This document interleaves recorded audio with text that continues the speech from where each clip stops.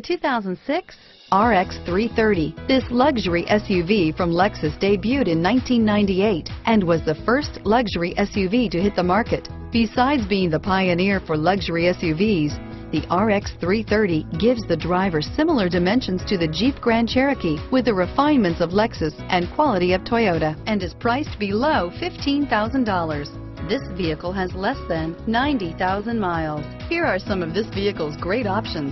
Navigation system, steering wheel, audio controls, traction control, power lift gate, anti-lock braking system, stability control, power passenger seat, all-wheel drive, adjustable steering wheel, driver airbag, power steering, auto-dimming rear view mirror, PPO, floor mats, aluminum wheels, keyless entry, four-wheel disc brakes, climate control, rear defrost, AM FM stereo radio, universal garage door opener.